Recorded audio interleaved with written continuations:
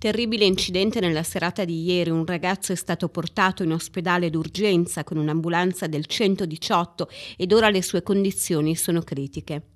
L'impatto è avvenuto ancora una volta nel Costatese, zona che negli ultimi mesi è stata purtroppo teatro di incidenti anche di grave entità.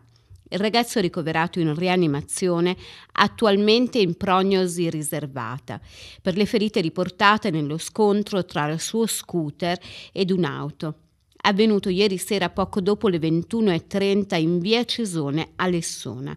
La dinamica dell'incidente è ora al vaglio della polizia stradale e nessuna ferita per il conducente dell'auto, una Volkswagen Golf. Seguiranno aggiornamenti sulle condizioni del giovane che a bordo della sua due ruote ha avuto la peggio.